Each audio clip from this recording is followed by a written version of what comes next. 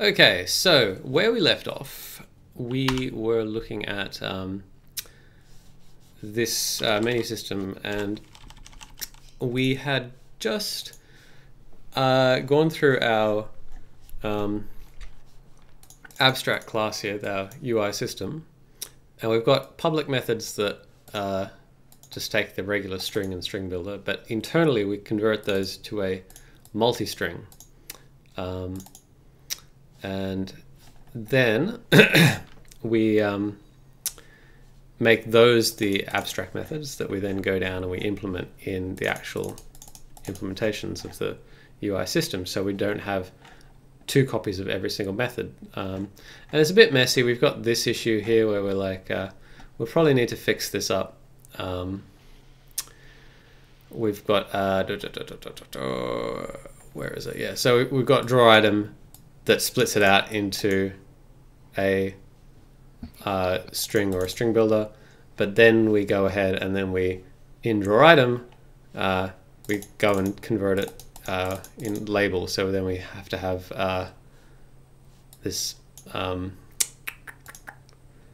oh yes, so we have to, we have to then call this version of label, which is the public version, which converts it back to multi-string. So that's a bit ugly. So we might try and fix that up uh, towards the end.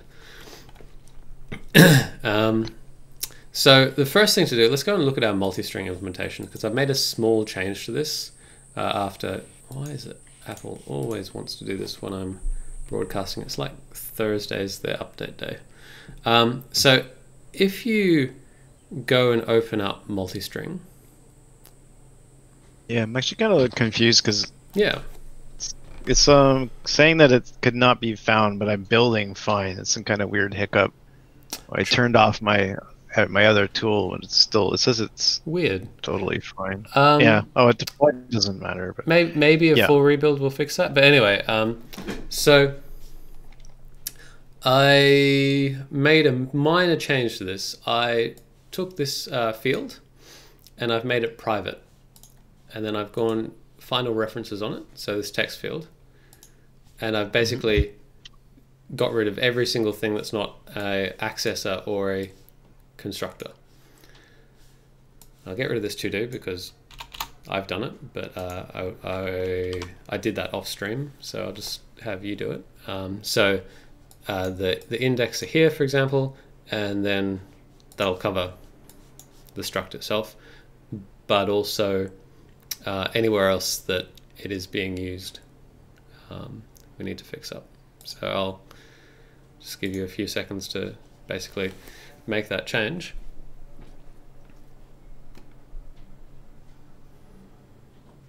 Yeah, I'm a little confused. Okay. Oh, you want me to? Oh, oh yeah. like So they should all of them look like this.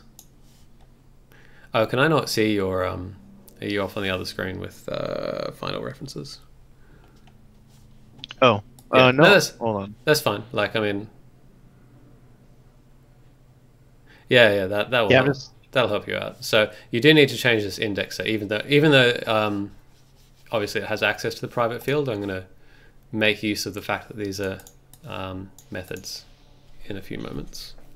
So basically, the idea is we can uh, change the implementation of this section without going ahead and changing all our code. Gotcha. Um, I don't know why yet, but you're gonna tell me eventually. Yeah, so I, yeah, I just just want to get that sort of started. Um, so while you're doing that, I'll sort of explain why. Um, so you'll recall that last time what we were looking at is um, we because because we changed from uh, just passing string and string builder to different um, to um, what would you what do you describe it as? Uh, like different copies of the same method. Uh, and now we're doing this process where we're creating new multi-strings every time we call something. We were wondering how much does this cost in um, like CPU time? And so one of the things that we are going to do is make a comparison of different ways of implementing um, implementing multi-string to see what the most efficient one is. So we're basically carrying on from last time.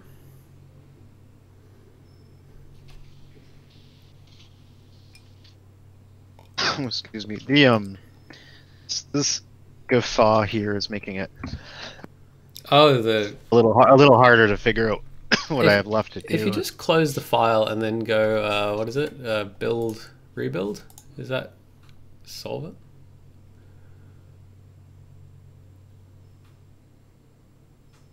Are you just unloading the solution? Oh, are you building it from the? Uh, I see. Yeah, yeah, yeah, yeah. It didn't. Um, it's a bit hard to see what's on your screen. So obviously you're on the high res monitor. So good luck, It's- everyone, everyone on YouTube. oh, I make it bigger. Oh Uh, no no the the the no. the, uh, the the text was fine uh, where you had it, but like the whole No. UI is just sort of you just just very Oh, yeah. sort of guessing what it says. Oh. But that's fine. Uh, that Okay. looks like it's still got struggling along here. squigglies. Yeah, sure does. Um, Although it says build succeeded, but um, okay. Well, like I think I think I've done the changes. It's just not going to let me. Uh, that's fine. that could become annoying later, but for now we'll uh, we'll make it work. So you've made all those changes. It builds. Uh, thingy is now Oh, it could be because I'm in. I'm in D. I was in release. It goes away when I'm in Ah. debug. That's weird. That is. Did we do something? Did we have Well, a, a we- weird if def in here somewhere? We are going to need it in um, in release build. So you'll recall what we were doing is we were coming here, and we're like, all right, let's let's see what this does. Uh, so I was putting a breakpoint here, and I was running it, and um, uh, just I'll get it off. Come on, come on. I will run it. I will get rid of this window and I'll stick a breakpoint here. And you recall what we're doing is we were hitting this disassembly window to try and look at it, or at least we were trying to and getting nothing. Uh, so that was the Right. thing that I went off to go and fix. Um, so what we're going to do is uh, do a little bit of configuration of Visual Studio, um, and I don't. Uh, you might need to go back in after this and change it, depending because I, obviously I know you use Visual Studio for work, but I usually run with this setting on and it's fine. So uh, what I want you to do is go to Tools uh, Options, and um, yeah, no one's going to be able to see that, but I, they'll just look at mine. And hopefully it's very similar. So if you open the debug uh, section on the left-hand panel uh, under debug general or just debug, Mhm. You get a bunch of options. And the one that we're interested in, I like how they finally made that resizable in the new one. So the one we were getting the other day um, was so so sorry. We uh, changed, and uh, what you'll need to change is suppress JIT optimization on module load. So that needs to be Okay, you want- off. Okay, it is off. Yeah, at the moment. Okay, good. So what that does is when you um, when you hit debug in um, in a managed project, it builds uh, the IL, the um, the executable file on the disk. It builds it either as release or debug, and that gives you your uh, you know pound define debug. You know, if debug do this thing. Um, it gives, I think it does include a little bit of extra debug information um, potentially in the IL, but that's more or less it. What it does, it generates pretty much the same IL. It think it does a few optimizations, but not really many. Uh, the actual magic source is not this uh, release debug box up here. It's actually this checkbox. Um, and basically, what happens if you uh, launch any manage thing in the debugger with this turned on, uh, whether you built it in release or debug, it will JIT it in debug mode. So the JIT itself has a release debug switch um, Hmm. and produces different uh, x86 or x64 instructions depending on what this uh, switch is set to. Um, so that is Oh yeah. So that means if you had it in release mode and you were debugging in release mode, um, you would only you'd actually be debugging the debug JITted code. Yeah, which which is sometimes fine, but uh, when you're when generally when you actually want to go and look at the disassembly like we're doing, uh, like this, this is actually changed, and there's a whole lot of you know there's a no op in there. Like, why why is that there? No one wants a no op in their high performance release build. Uh, most of the time. Um, so yeah, we turn that on to um, to to to uh, yeah to get the uh, optimized assembly that we can then debug. The other way of doing this, I don't know why some tutorials and stuff online uh, do it, but you uh, launch it outside of the debugger. So you go debug, uh, start without debugging. And if there's no, so uh, the JIT actually makes a decision based on whether a debugger is attached. It's actually not really that much to do with Visual Studio. So if you launch it without debugging and then attached process, you can attach to the optimized JIT as well. Um, but that's fine. That this, uh, this saves a step. It seems like you wouldn't. I wouldn't want to do that all the time. That would get annoying. Yeah, that would get very annoying. Uh, so yeah, the suppress thing turned off. I run with that all the time. It's, it's pretty good. Uh, the other one, and I have a suspicion that uh, it suppresses anyway if the thing was built in debug mode. I think, but you know who knows. But the, uh, we did that last time. But the one we missed last time was enable just my code. So that needs to be off. Okay, it's off. Oh, it's off. All right. Well, uh, yeah. So Visual Studio has very funny ideas about what just your code is. So um, it basically gets into situations where it's like you don't need to see the disassembly for this because it's not your code. Um, so I think it's just for newbie programmers. It's like, oh, what's all this library stuff doing in my you know debug view? I don't understand a call stack. Um, and so, yeah, we turn that off because we are now professional and competent programmers that don't need that sort of crutch. So, uh, you're actually all set up the way it needs to be set up, as by the looks of it. So you didn't actually change anything. No. Okay, well that's good. Um, we may have. Have we ever done this before? I wonder if we've done this before. No, but I, I mean, I always turn off enable just my code um, Uh, that- because yeah. I'm always I'm always falling into the framework. Um, yeah. Actually, yes. So that yeah, that's me. But the other one I think we checked off in the last one, the uh, suppress, without the explanation. I think you just told me to check it. Uh, Yeah. To Oh, disable it. Yeah, um, and obviously mine's mine ended up checked because I did a reinstall of Windows recently. Um, so, um, um, um, um, um, um, um, what was I about to say? It was, it was fascinating. It was great. Um, oh yeah, so um, the yeah the, the sort of half-assed way that uh, Visual Studio decides what just my code is is basically is the uh, I think it's is the JIT optimized. It could be if is the uh, file optimized, but I think it's is the JIT optimizing. And so obviously, if you suppress um, suppress uh, JIT optimizations, Oh right. And you're running a release build, it's like, ah, this is a release, you know, jittered uh, module. We won't. We we assume that's not your code and won't debug it. Um, so that's sort of the the nonsense that Microsoft's done. Anyway, uh, all that introduction aside, let's actually go and look now at some disassembly. So hop on over to main menu, um, our main menu method, and uh, just run it. And while it's running, just uh, going to get rid of this window. Just slap a breakpoint on, uh, probably item. Um,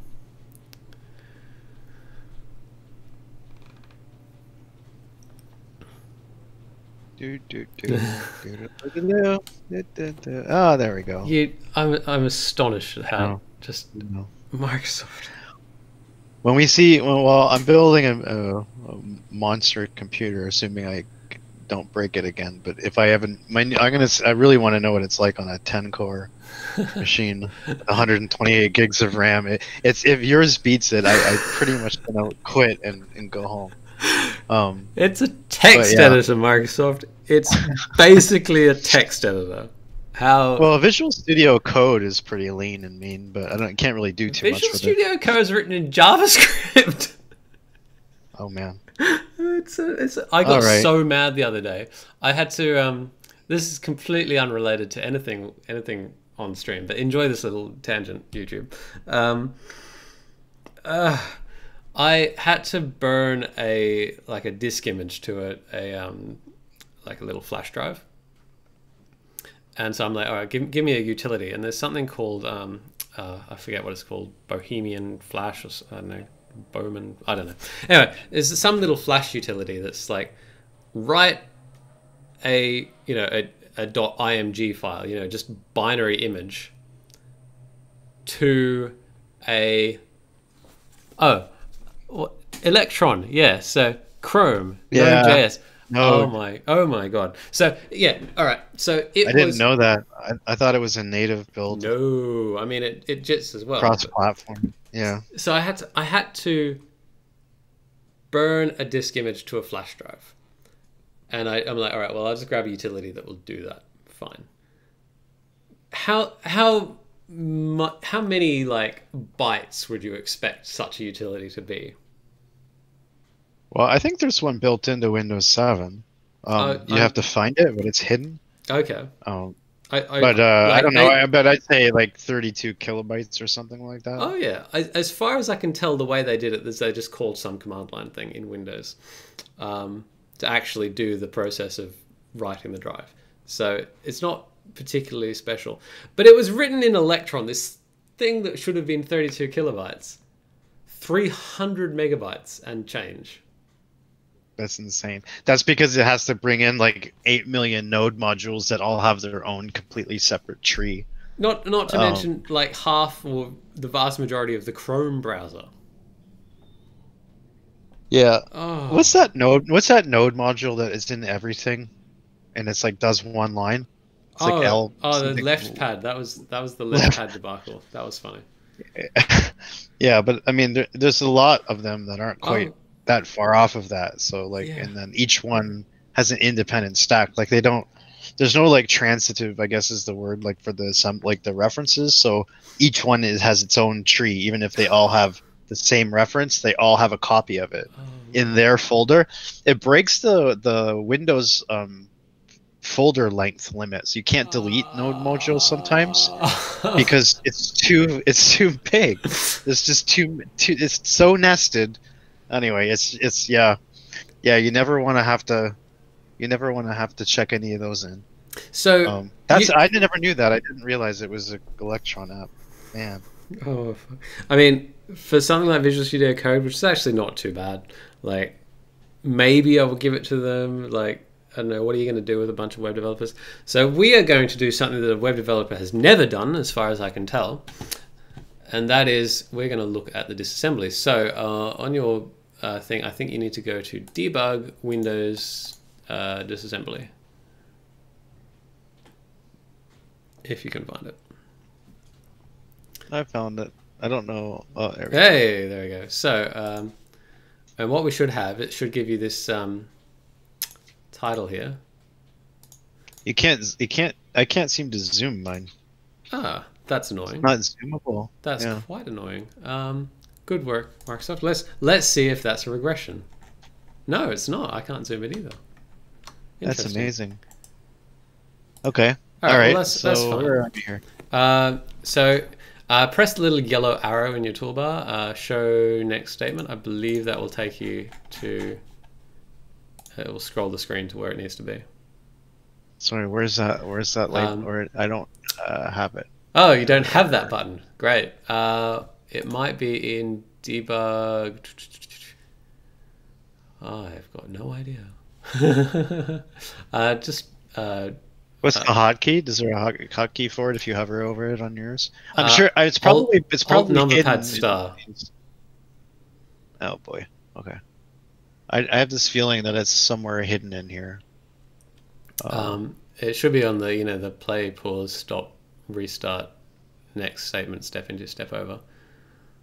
Like I don't use Visual Studio 2017 much. I'm gonna I'm gonna be using it more shortly. Um, certainly haven't used it much. I haven't used it in anger since uh, I needed to reinstall Windows.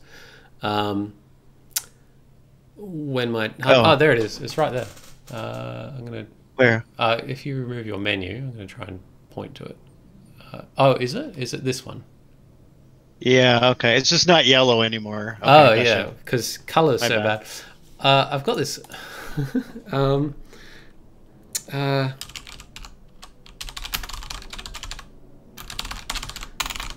I, I, I tweeted this out the other day, like something similar to this anyway. And I'm like, you know, when you're actually doing something like mission critical, this will let me find one that was good enough. Yeah, so when you're doing something like, let's say, important, um, well, this will do. It's not very high quality, but it will do. You know, you how, how would you expect like your control panel of what you want to do to look? You know, it might look something like this. Like, you know, all of these things are different shapes and different colors and so on. So you actually know which lever you're pushing. And so this moronic idea that everything needs to be flat and grey and the same color and the same like I mean it's image but you know it's texture. It's like it's maddening. Like no one to to quote like Casey for example or, or John Blow it's like everyone is fired. Like you, you guys don't know what you're doing. It'd be interesting to see whatever, like, what a if you could like sort of like what's that? Um, those really cool, um, very tactile UIs for like uh, DSP, like digital. You know the, um, is it Reason? Like, Oh, yeah, they yeah, have yeah. the like everything you can like. oh, They almost go down like like physical wires like being swooped in and out of other ports and so on. It's kind of like I wonder what the Visual Studio could get a makeover like that. What it would look like, like a cockpit of a That'd be interesting to see if someone could do a better job. yeah like, Yeah, just, yeah, just, I just mean, to like- give anyone else like a feel for it this is some software for music making. And I mean like this this is maybe going too far for most software. I quite I quite actually like this um uh because because you can see you know where all the buttons are and it's also it's a creative program so it's like gives you a bit of a feel. It's like hey this instrument looks like it sounds to a certain extent. Um, so this is a good good bit of music software I quite like it um, have I got it installed yeah so right there uh, I'm not sure that actually shows up on capture but it's in my start menu um, I see. uh, yeah. Um, okay. Um, um, um, um, um. Now I'm trying to get back on track. oh. Well, I, I hit that button and I ended up in this. okay, we've got the disassembly. call. All right. So uh, you'll notice that sort of if you scroll up, you can see the name of the method, uh, or sorry, the uh, file you're in. Actually, it should be. Mhm. And in fact, I'm struggling to read yours, but you should be able to scroll up a smidgen more. That's interesting. Um, can you just double check that suppress code optimization is uh, actually Mhm. set on your thing? Uh, you might need to stop and restart the program. Suppress Uh, JIT optimization on load assembly load. That does not Oh. look optimized to me for some reason. So uh, another another wonderful feature of VS 2017 probably. Well, it's definitely not selected. Like, Okay. it, there's no checkbox. Oh, uh, my, no, my bad. Sto- uh, yeah, sorry, I, I completely forgot because you changed this before. Change uh, your uh, just uh, stop the project and change the build mode to back to um, release and try again. Release. Oh, of course. Yeah, yeah, yeah. Well, that answers your question about whether it suppresses it anyway on debug. Yeah, I thought The it, answer is I yes. thought so, and it does. Yeah, Makes sense. yeah. Like, All well, right. Okay, this is looking much better. So uh, you can see what it does. It's like, okay, this code is the code for uh, UI label main menu, but it's actually the code for this line of code in this program. So this line, which includes all of the like preamble of the function. Um, so we're pushing a couple of registers. Uh, we're subtracting from RSP, so I believe that is the register for the stack pointer uh, is RSP. I'm assuming yours is fairly similar to mine. Uh, like I don't know what you've got there. I have RSP 60H, not 30, but yeah, uh, the the yeah, I'm at. Yeah, I got four pushes and a sub. You've got more pushes than me, but um, I don't know why. Um, actually, that's another. Different compiler, probably. Are you in any CPU? You are in any CPU, and are you uh, are you set up? Is your project set to? It probably is because it's the new thing. Um, if you go to your project, um, I can't remember where this option is. It doesn't exist in. Um, oh, you might need to stop execution to, to actually change these. Um, Prefer 32-bit or yeah, that was the one I was. was like. Uh, well, I can just switch to the Yeah, so I don't I don't even have a 64 bit. So we're gonna work on. Uh, anyway, the point is we want a 64 bit thing, and I think I think RSP is a 64 bit register. I think.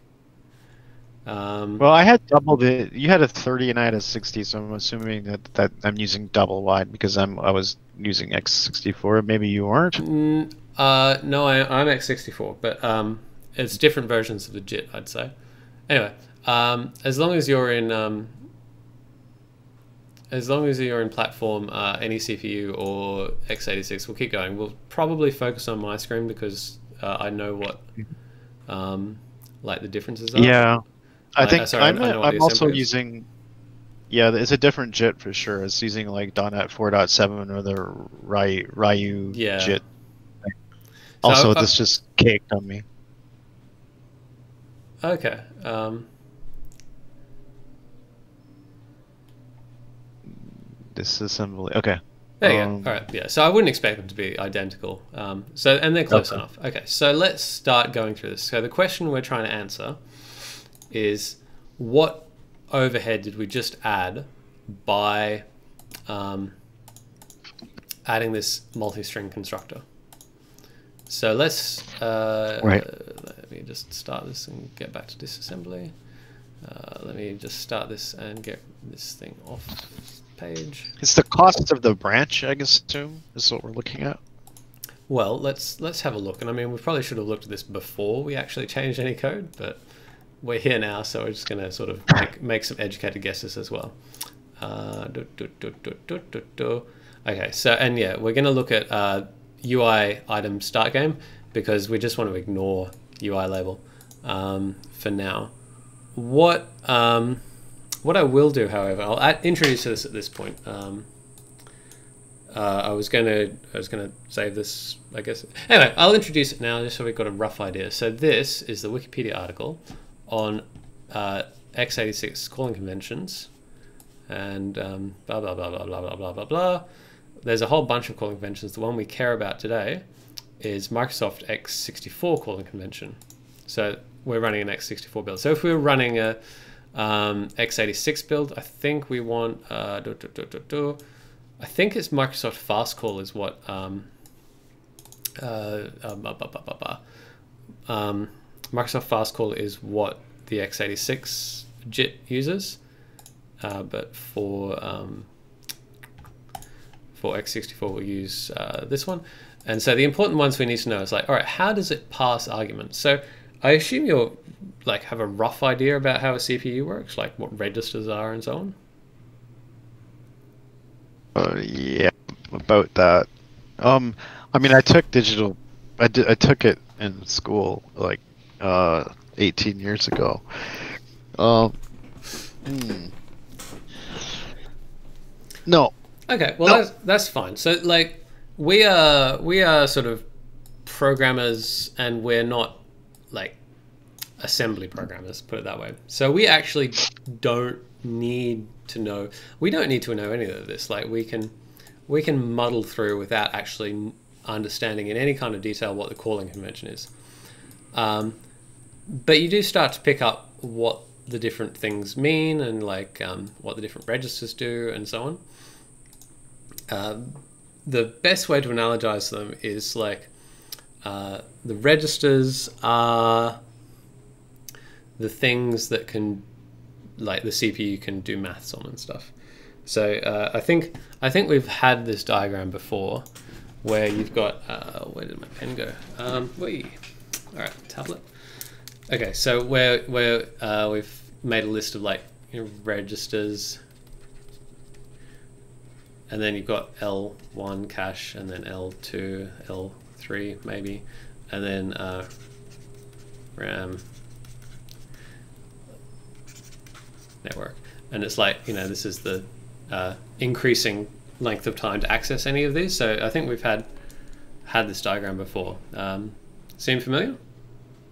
Yeah, I think we we covered this a little bit when we were doing the like sort of cache coherency and data oriented um, design. Exactly. Uh, yeah. So um, a a register is basically the thing that's most in the CPU. Everything else, like uh, all of this stuff is also Caching and Yeah. storage and yeah. like all of this is like this is RAM and like caches of RAM. Uh, and so what the CPU do is CPU will do is like, all right, I want to add. Say I have a var, uh, I don't know, i equals two, var j equals three, and um, um, var um, this k equals i plus j. Let's say I've roughly got a program like this, and roughly speaking, what the CPU will do is like, all right, well, I'm going to uh, load uh, into like R1 from uh, the address of I. Right. Um, and then it's going to be like load into uh, R2 the uh, is it the address of I or from the address of I? Yeah. I'm not that much of an assembly programmer either. From the address of J. Um, so like ignore like from squiggle and from squiggle. Just pretend those are I and J. Um, Yep. and so this brackets around here is like load from an address, effectively. Right. I think. Anyway, It's a pointer, right? It's, and here's a place and here's a location in memory that um, we're sitting on. equals uh, two. Yeah. So just like Rough. just Yep. fudging it. So it's not even called load. Load is like what I'm calling it now, just to make it easy. And then it's like add, and this is you know I, and this is J, and then what it would be? It would be something like R one, R two, and then what you'll find is R one is equal to uh, five, and R1 is now the value of K. So this is something called register assignment.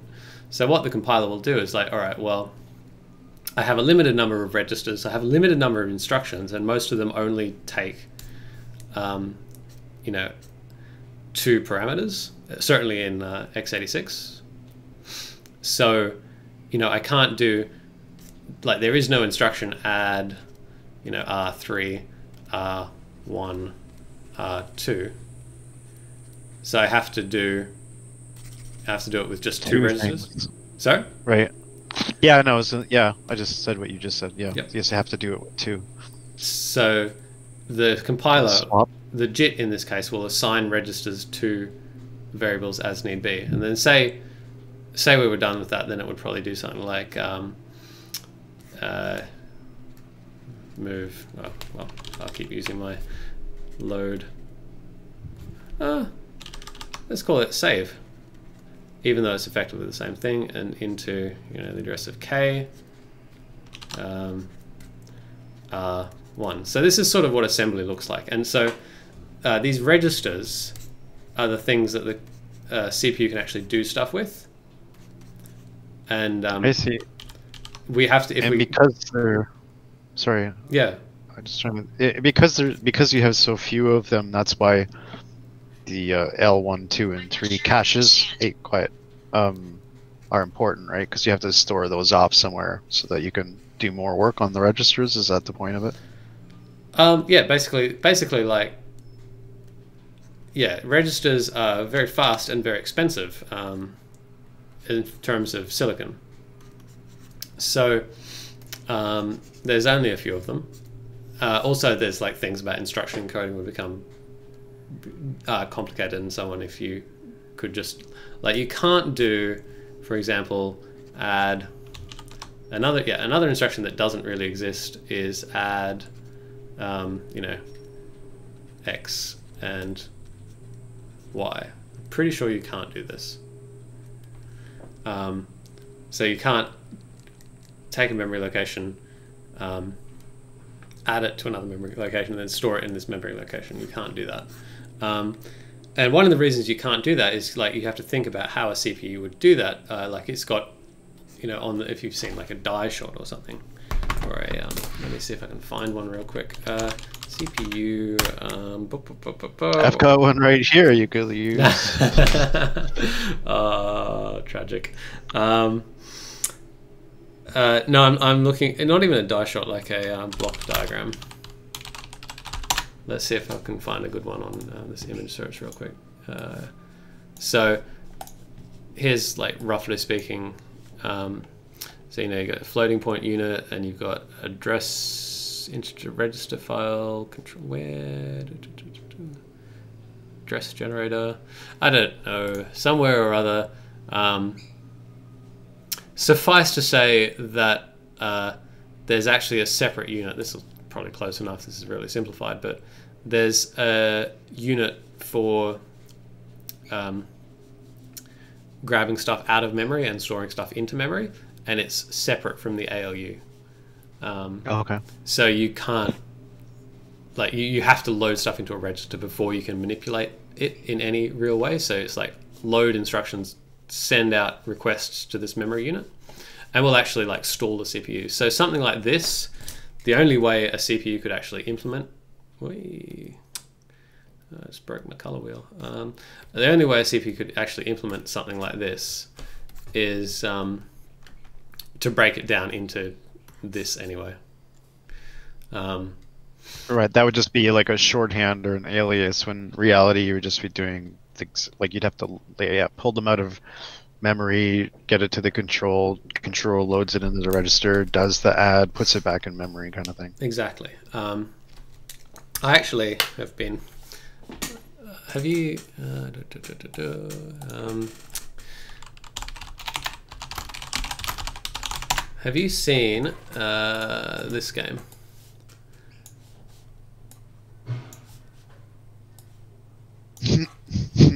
No.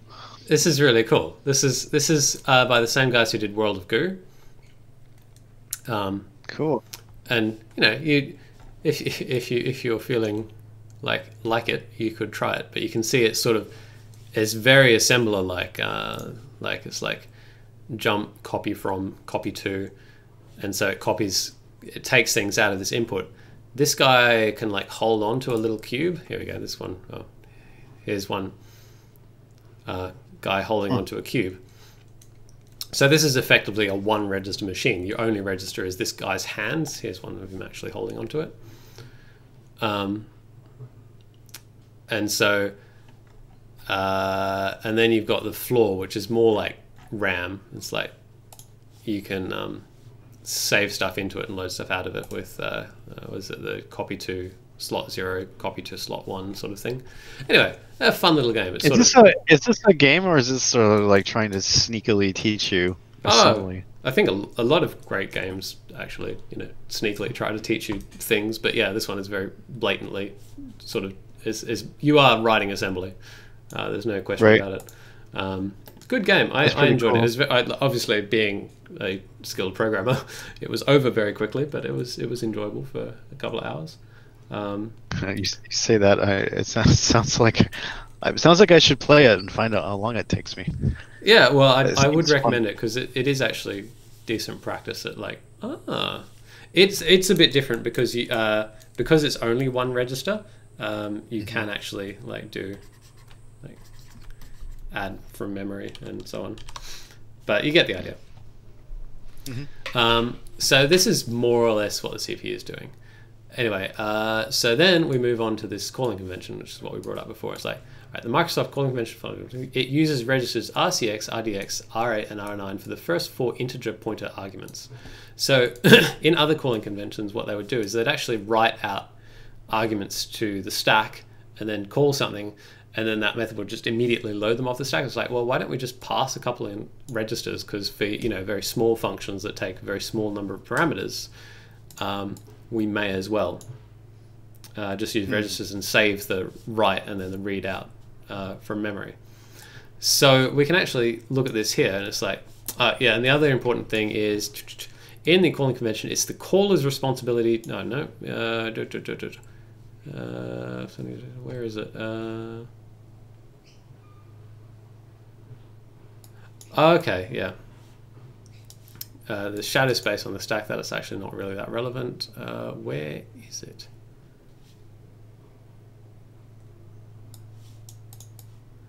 Uh, where?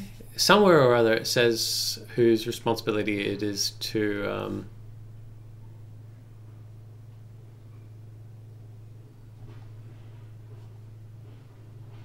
Oh, okay. The registers are considered volatile, so oh yeah, caller saved. So uh, these registers, if um, you call a function, you have to save these yourself. If uh, you use these registers, the function that you call, the callee, if it wants to use them, it will save and restore them onto the stack for you. So you've actually got a mix of both, depending on what you need. So right right away, I see that like a lot of the calls that we're doing are basically moving RCX to RSI, like moving the volatile one to the non-volatile one Um, register. Well, let's let's start now. Now we have a rough idea of what's going on. Let's start taking a look. So uh, we're pushing, and uh, we'll bring this back over. I'll uh, cover your screen with it. Uh, so because we want this list here, and we also want to know what uh, RCX, RDX, R9 are. Um, uh, okay, so we're pushing R14, and um, we're pushing RDI, we're pushing RSI, uh, RBP, and RBX. So we want to That's use for them- label though. I thought. Oh, Sorry. yeah. it's- Okay, so this is the preamble to the function. So I've actually, I was going to Okay. skip over the preamble, but I'm actually going to go through it just because it's a good introduction to what's going on. So we're pushing all these onto the stack. Um, so this is this uh, stack pointer here. Um, and the stack grows backwards, which is why this is a subtraction. So uh, RSP is the stack pointer. Um, so it- Register stack pointer. Yep, so- RSP. Yep, it points to where the top of the stack is, or I guess the bottom because it's growing downwards. Um, so we're saving these ones because they are callee saved. So we want to use them, but we have no idea if our caller might have been using them, so we have to save them. And you'll find at the end, we scroll down all the way down to the end, we actually pop them off at the end before we return. Hmm. Um, and then let's see, we, we subtract from the stack pointer of XOR EAX EAX. Now we actually ran into this. I think we caused this bug ourselves because um, Yeah, the other time That we- reverses. Or yeah, I remember that one. I did that one. I screwed that up on my side. I ended up. I accidentally hashed. I XORed or yeah. Um, what do you call it? you Uh, un- undo masked the hash twice. by Yeah. doing it twice. So what do you suppose XORing a value with itself does? Um,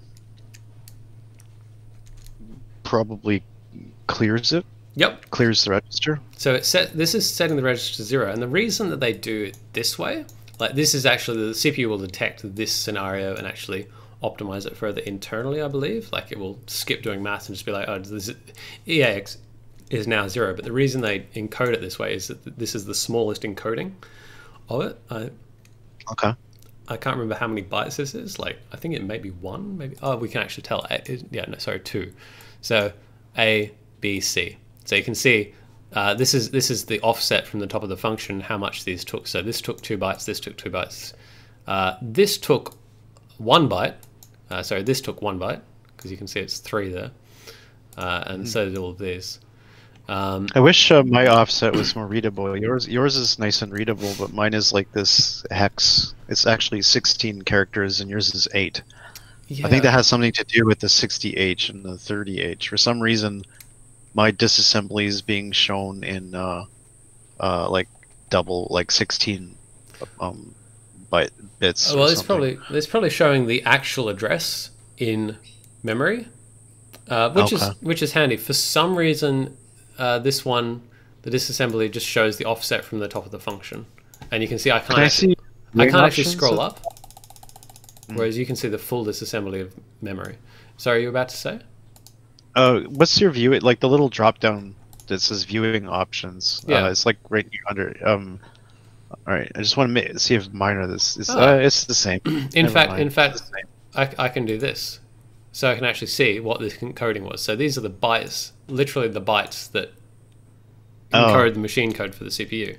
So you can see. well, at least it'll help you count them easier. Yeah. So, so this is two. and I this can't. is yeah, five. Yeah. Like it doesn't really matter how long the encoding is. Like it's handy to know about for like this case why that's the encoding for please zero this register, uh, and that's just because it's small. So you can see something like move, which is equivalent to load or save, is that's that's three bytes here, uh, four bytes here, um, and crap ton of bytes here. because it's storing an address. So uh, the Intel's encoding is a variable length encoding, uh, which is you know fine. Uh, anyway, I'm going to get rid of that just so it's a bit more readable. Um, uh, I'll close that. All right, so uh, we're doing something to the stack pointer. We're, growing the stack. That's right. So we want another 30 bytes of space on the stack um, that we've reserved. So if we call anyone, uh, they're going to get a different stack pointer location. Um, so that's uh, if we, if if you recall, um, looking at disassembly, uh, uh, in fact, yeah, uh, decompiled um, stuff uh, like this. Mm-hmm. If you look at the IL for it, you'll sometimes see like a little stack block, and it'll just be like we've reserved space for these temporary variables. Okay. Uh, I don't I don't have an example of that handy, but um, let's see if I can find one. Uh, just real quick, let's see if uh, any of the screenshots show something. My internet has just decided to be real super slow. Um, all right, here we go. Um, uh, da, da, da, perfect. This first example. So here's some disassembly, um, and it's like all right, locals in it. Um, and here's one, two, three, four locals that have been uh, reserved max stack five. So this is sort of the same thing. The IL is reserving space on the stack for these local um, local variables, and I suspect that was what we're doing here. Um, and then we actually get into, I think we do a little bit more setup here. I'm just going to sort of skip over this, and then finally we call this method here, uh, which will be the call into that. So is that making sense so far? Any questions? Uh, no, I mean I have like lots of questions, but uh, you know, like, but I, I'm following. It makes Yep. sense. The Okay. um, Yep. Yeah, just uh, that move before the call, register AX is being moved to the- address that we eventually call. Um, Yep. but it's also being moved to uh, the RSI register. Okay. Um, is that basically the current, like the top of the stack RSI? Uh, no, Like- RSI I believe is just a plain old register. They've got some wacky names. Um, Hmm. Sort of in the super old, like what what is the the x86? You know, derives all the way from the Pentium, what like 8080. So not even an like an 86, but an 8080. Um, you know, like the Z. So these are like legacy. like the Z80, which had registers like uh, it had register like A, B, C, and D or something, or I think it may have even just had A and B, where it's only registers. So, hence A and B, and I think. I'm, try- I'm trying to, I can't remember the exact details, but usually it's like A is the accumulator, and that register was the one where, which could actually do more stuff than the other registers because you know silicon was very expensive back then. So you'd Right. have this like one super register and a couple of others that you know ABC and maybe D that could actually do stuff. And then the uh, they got the X on the end because they became extended. Um, so EAX uh, is the so it was something like A register was like the eight bit one, and then I think E uh, I think AX was the 16 bit register, and then they expanded out to EAX is the um, 32 bit register, and then So RAX is a 64 bit register, and they all point to the same register. But it's like how how wide would you like to think of this register today? Like, would you like to think of it as being 32 bits, or would you like to think of it as being 64 bits? Oh, okay. So it's always yeah. So it's sort of like a, a tiny bit like those um, intrinsics where it's like I actually have space for this whole amount, but we're gonna pretend it's this much kind of thing. So does EAX just mean like the A register and there's two different ways of saying extended, like extended once with X and then extended again with E? Yeah, and then extended again with R, so it's 8, 16, Right. 32, 64 bits. Okay, that's helpful. Yeah, so so it's all it all points to the one register, so it just points to the lower 32 bits of it.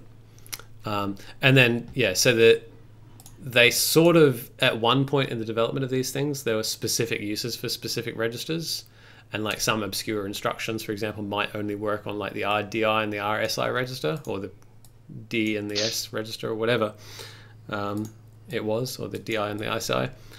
Um, and so that's what they got called. So I suspect that DI and SI are just generic registers for the majority of the time. Uh, RSP obviously is the stack pointer, though. So that one is special because it uh, push and pop instructions use it. Mhm. But like whatever RDI and RSI like are used by, I don't know, and it probably doesn't matter. I suspect for most uses. And then finally, you've got this. You've got uh, R8 through 15. So they added just like, well, we're doing a 64-bit processor. We can add another uh, eight registers. Four. Oh right. Yeah, four here and four here. but um, yeah, it's like well, we've got space. So I think there were roughly yeah, roughly eight registers um, before, and they're, like, well, we'll go to a total of 16 registers, and we'll give them like sensible names rather than like sort of these weird mnemonics. But the reason, I guess, the reason they can call them R8, R9 is, is these ones don't have short versions. Um, Right. Because they were never existed in the 32-bit processor. Right. They haven't been extended yet. Our 8X will come Oh. with 128 bit. Yeah, once we get up to 128 bits, yep. Um, oh, he- heaven help us. Okay, so let's start looking at what Yeah. let's start looking at what this does. So this is the reason I wanted to skip over UI label is it's got all this craft above it. UI item we can actually look and be like, all right, one, two, three, four, five instructions um, is what's going on, and let's look at what it does. So uh, first of all, we let's look at the registers we're using. We're using DX, CX, and AX. Um, so we only care about three registers here. So into DX, which uh, if you look here in RCX, RDX. So RCX and RDX are going to be the things that get passed to this call. So we already know that DX and CX are the uh, arguments. Right. So dx is the second argument, which is here. The first argument, RCX, is going to be the this pointer. So if you recall, yeah, non-static methods always have this hidden this pointer argument, Right. and that's how they work. Um, so we can already, like, we can obviously tell RDX we're loading in this. Uh, this is a pointer to something, and we're loading in whatever that gets pointed to. In fact, I can open up the debug, uh, Windows, registers. So I can actually see what's going on. It's not particularly helpful, but we can see it nonetheless. So uh, this is going to load um, into RDX whatever is pointed to by this pointer. Now this pointer was uh, created at um, the uh, JIT time, I guess. Like this is a fixed value, so it's that in hexadecimal, which is the H. And so if I hit uh, step over, you'll see that RDX will change. So it's that at the moment, which is probably some nonsense. And I'll step over it, and you can see it changed. Um, I, and the register of the instruction pointer changed. So this is this is this yellow arrow is that.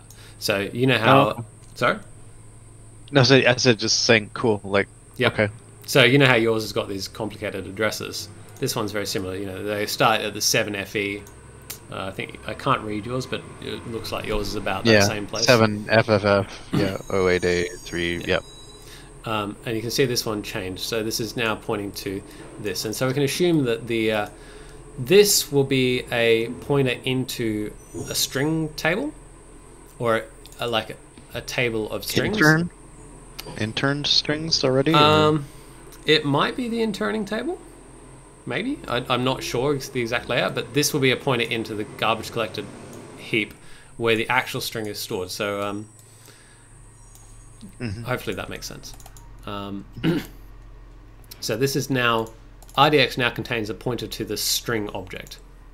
Um, so this pointer also contained a pointer to the string object. So we've just copied. No, sorry, a pointer to a pointer to the string object. This pointer to a pointer of like that starts to get confusing and annoying, and so I'm sort of going to gloss over it slightly. But anyway, so we now have a pointer to this in RDX. Then RCX that's just coming from RSI. Uh, and if we look up uh, before what RSI was, we can see we pushed the old version of RSI and then uh, RSI here came from RDX. Um, and so we've copied RDX into RSI. So RDX would have been, again, the second argument to this function. So this is UI. Right. It's yeah, it's the reference to the UI. Yeah, to the UI instance. So you'll the pointer to it. Exactly. So you'll notice sometimes when I'm programming like really uh, stuff that I want to be quite fast, I will actually try and make sure that the arguments don't change positions because you can see because they've changed positions from uh, the second parameter to the first parameter. Um, like we've had to go, we've had to uh, duh, duh, duh, RSI, RDX to RSI, and then RSI to RCX. So having to do a couple of moves to get them into the right place. So if I wanted to really clamp down on the amount of code being generated by the JIT, like I will keep my arguments in the same order. Like the same order in the method signature, or do you Well, mean you have to like pin them? The same. The, sa- I mean, I mean, in the same order in the method signature. Um, uh, sort of. So if if if um, sorry. Um,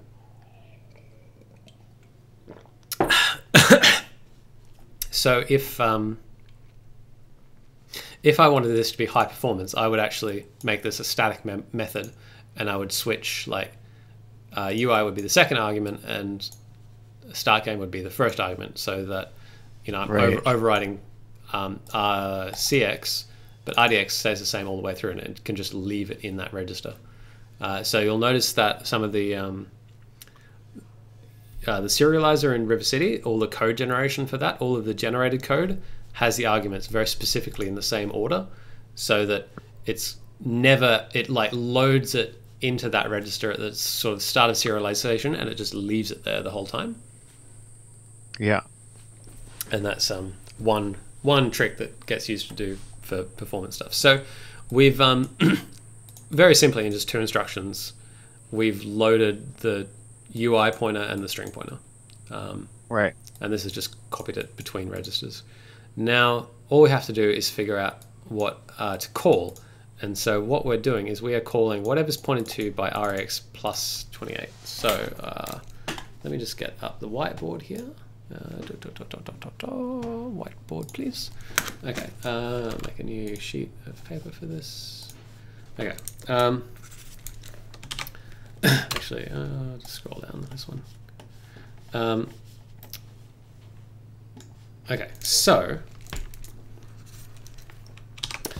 um, um, um, um, um, um. Right, so we're calling a method. So call into uh, whatever's pointed to by RAX plus 28. So RAX, and this is like 28 has got, oh, actually, I'll write this differently so it makes a bit more sense.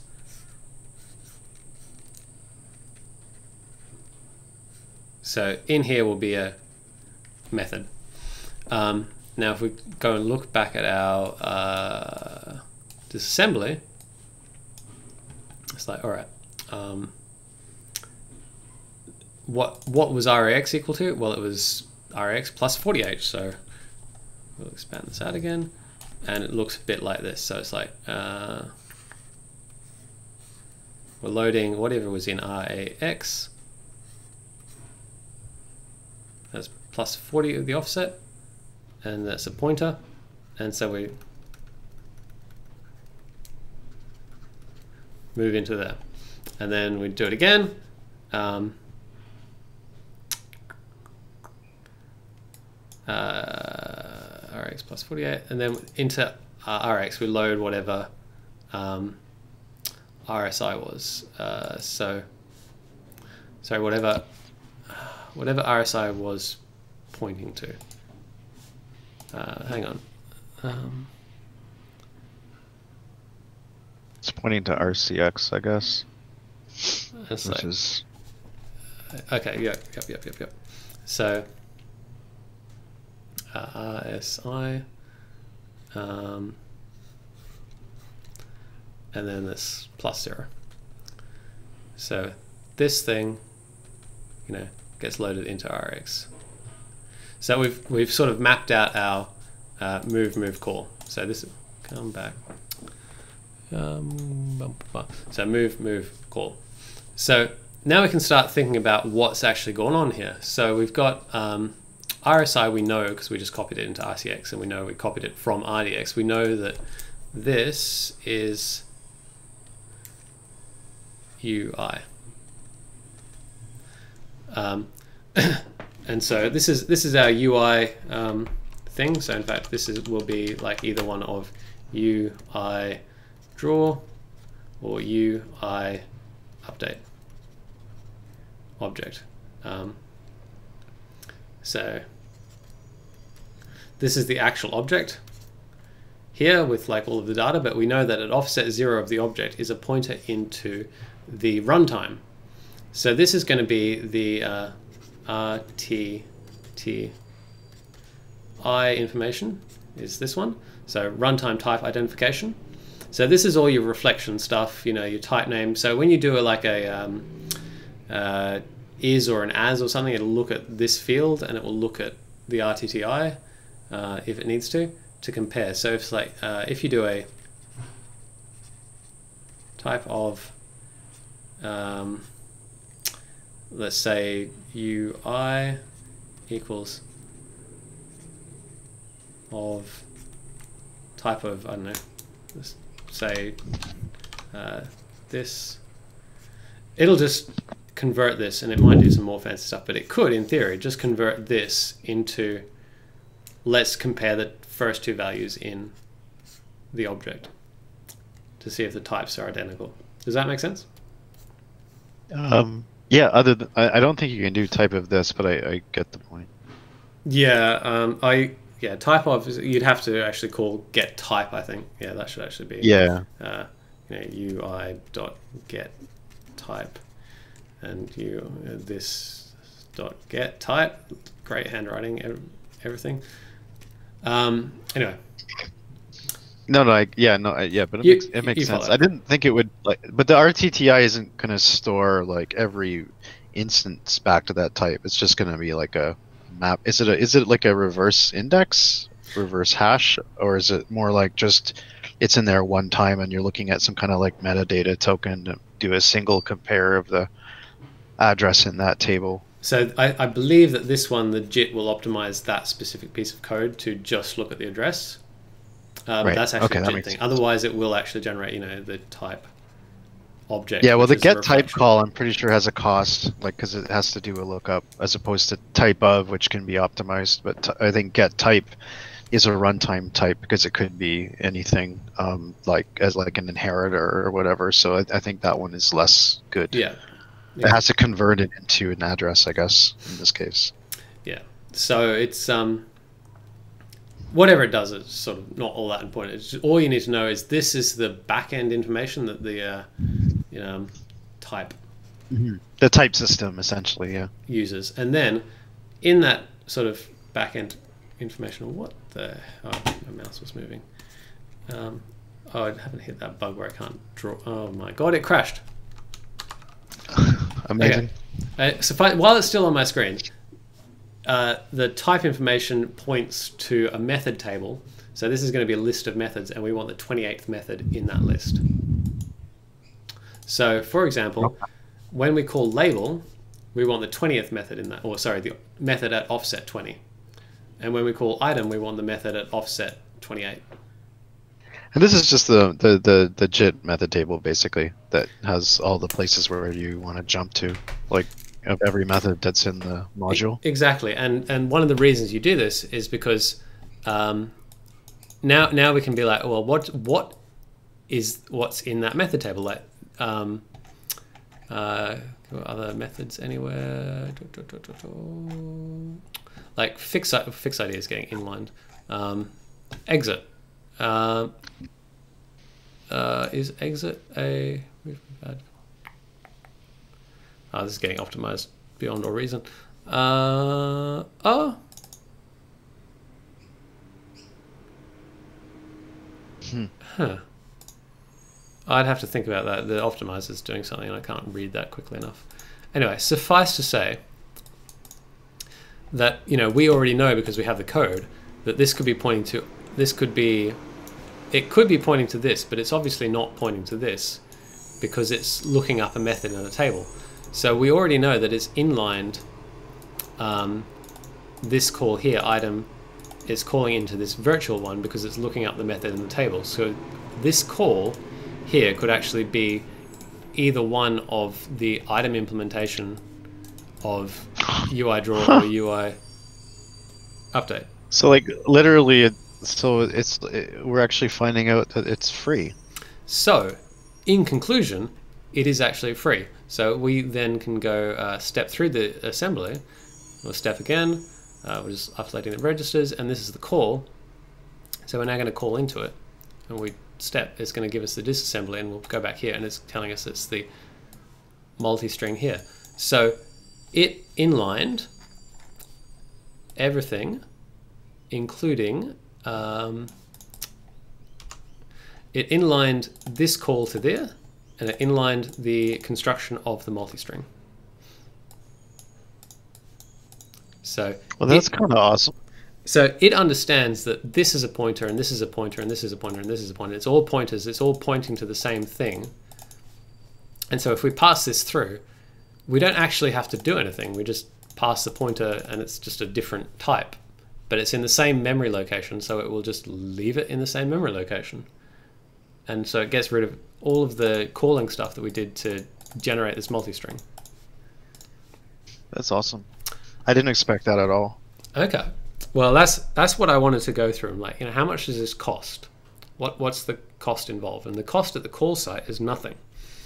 Um, now, But we kind of lucked out, though. I mean, like we didn't control. It's not like we did one of those method IMPL like hints to do the inlining. Like we just got that because the compiler figured it out for us. Um, well, the compiler is pretty good at that. Um, like certainly because um, because C sharp code is absolutely littered with like get and set methods like that look like this. It's like, well, get me that, and it just returns that. It's very good at inlining very short methods. And so right, especially yeah, it makes yeah. So it almost can conventionally say, "Oh, you're just pointing to this, so I'll just remove you from the like the." I guess like it's re- what is that? It's like un uh, unrolling the the stack, I guess, of calls to just find the address that you were trying to get to um, in a way. in a way, like I mean, it's calling it calling it unrolling is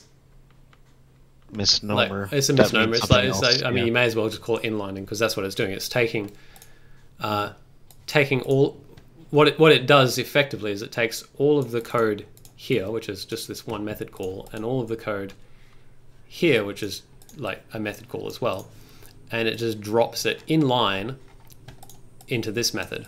So it inlines it into this method, and then it realizes, well, now I've inlined it and I'm starting to generate the code.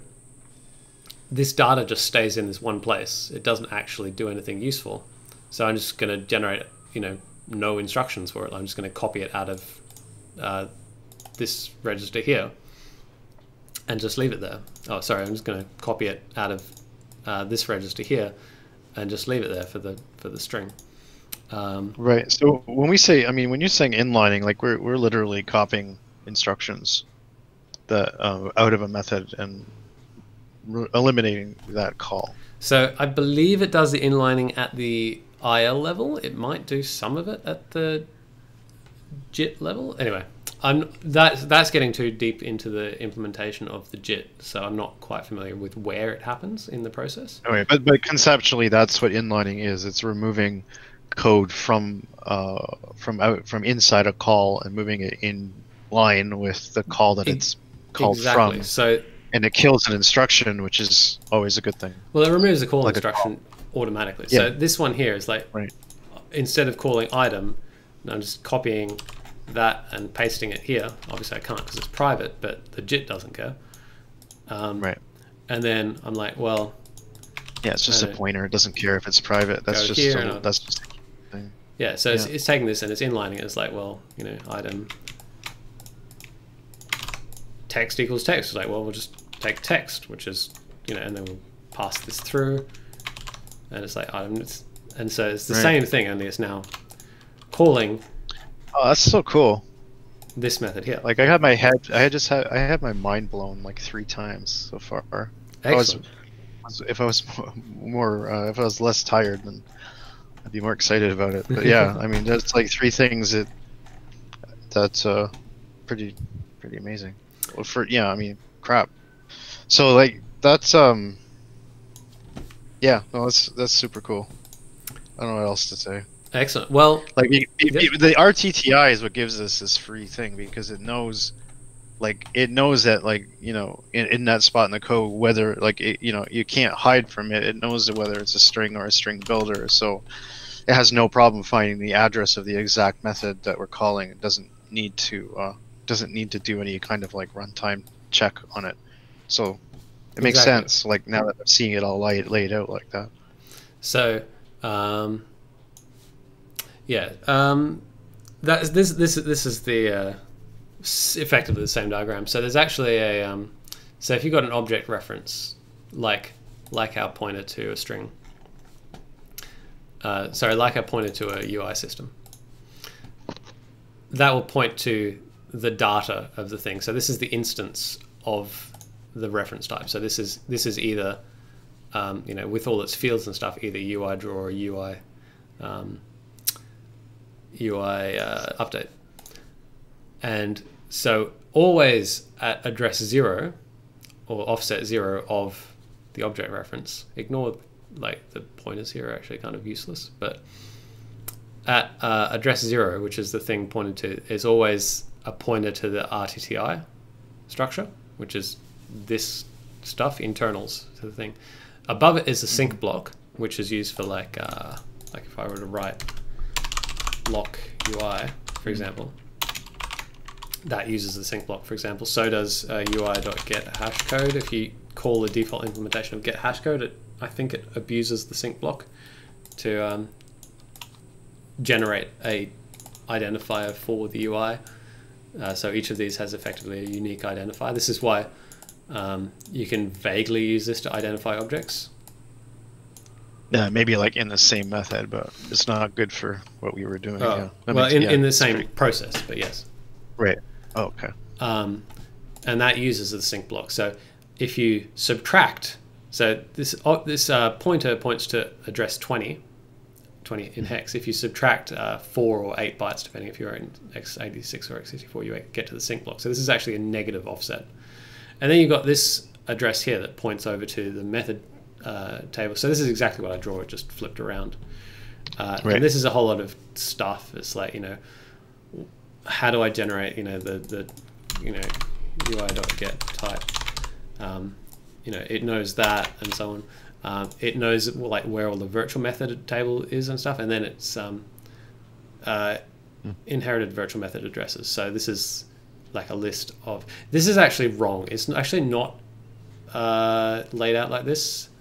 Um, as you saw, the method table is actually a pointer to a, another structure that is the method table. This is actually Right. this is actually wrong. This should be the R. This should say runtime type identification, and there should be a pointer over to the next one, which is the uh, method table. So hopefully that all made sense. Mhm. Um, I mean, it's a lot. Um, Hmm. yeah, yeah, that's that's awesome. So I've, I've got I've got a bit more, but I think we're over time now. So I'll save that for next time. We'll do a bit of revision.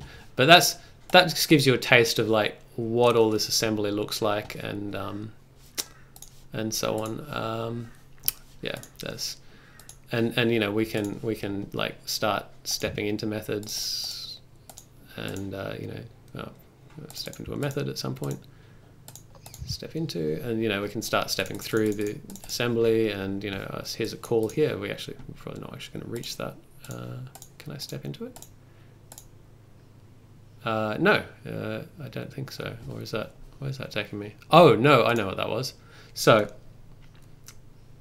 one one little fun fun fact just to close off with and that is if you run this uh, and you've got the window up and I, so I haven't actually run this before and I look at the disassembly and I start stepping into things, um, you'll see that this uh, call here.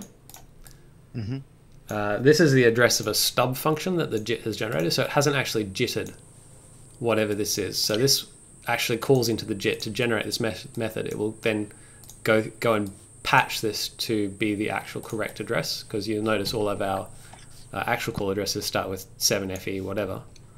Right. If those were already hydrated, this would be an AOT system, right, as opposed to a JIT. Um, yeah, exactly. So yeah, if, if, if this were not a JIT, we wouldn't have these. But um, so this is the address of this call stub, uh, which will hop in. I, th- I think these are all different. Maybe they're yeah, they're all different. So it jumps into a stub that jumps into the JIT and generates the method that it needs to call at that point. Um, so that's if if you're wondering what these calls are. Um, so I think I'll end it there. And that's a fun thing to play with, and you know, go play. Uh, human resource machine if you're interested in that sort of thing. Um, I d- I've almost finished um, the sequel, which is. Uh, do- do- do- so- I'll just bring up some images of this one. So the sequel is like 7 billion humans, and it's sort of a similar thing, but it's about multi threaded programming. So instead of one dude, you've actually got like a whole lot of dudes, and they all run the same program. So you actually have to. Um, Oh, you have to make it thread safe. Pretty much, it's yeah, it's, it's sort of a nifty thing. So it's less assembly like you've got if statements and for each and so on. Um, so it's simplified in that Oh. sense. But uh, But I think it's probably breaking the breaking um, developers' concept of like mutating state and being more functional and yeah, exactly. Like- thread affinity and yeah, so it, thread local storage. yeah, it's it's um, exactly. It's, it's more of a, like a threading thing. So that's also quite good if you want to, I, I guess, have some fun with like thread programming. Yeah, I Um, wish there was one for trig or calc or physics. Or maybe they'll I come up with a couple. I was like,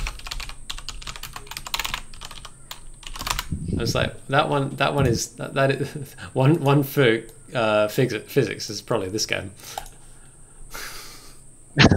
Gorilla face. Um, uh, yeah, I love that. game. it's a great game. All right, um, I'm gonna close off the stream. Thanks for watching, everyone, and uh, we'll come back next time and finish off our discussion of uh, disassembly.